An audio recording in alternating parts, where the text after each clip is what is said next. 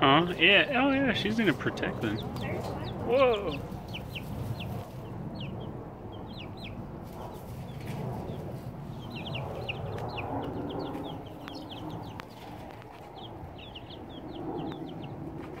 They kind of are gathering around court, like.